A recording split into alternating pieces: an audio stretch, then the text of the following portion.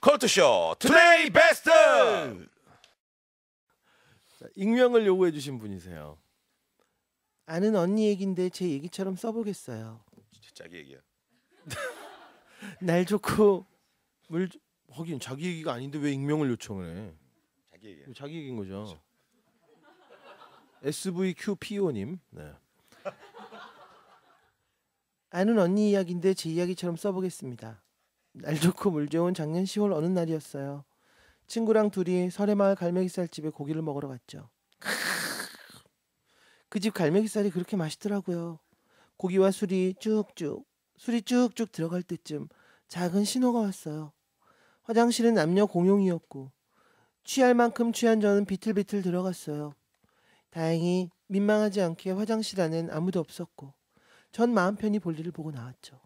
세면대에서 손을 씻고 있는데 그런데 반대쪽에서 웬 잘생긴 분이 볼일을 보고 나오는 거예요.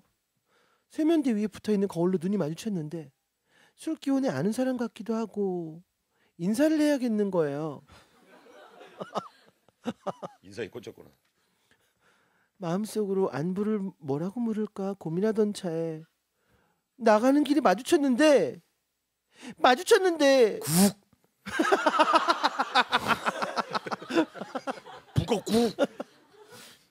가까이서 보니까 대박 현빈 씨인 거예요. 네, 누구요? 현빈이요? 네, 그래? 그 왜? 현빈 씨요. 그래서 아는 사람인 줄 알았나 보다. 박현빈 씨 말고 그냥 현빈 씨요. 그런데 전 너무 놀란 나머지 현빈 씨에게 이렇게 말하고 말았어요.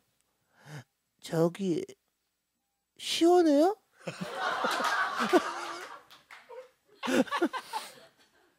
꼬인 발음으로 볼일 보신 거 시원하냐고.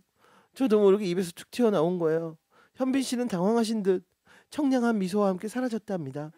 전 자리에 돌아와 정말 민망해서 울다 웃다 술이 다 깨는 기분이었어요. 현빈 씨 죄송해요. 하지만 너무 잘생겨서 놀랐어요. 본인 이야기시네요. 본인 얘기예요. 네, 본인 얘기. 화장실에서 현빈을 보다니 참. 오, 남녀 공용 화장실이 굉장히 예, 예.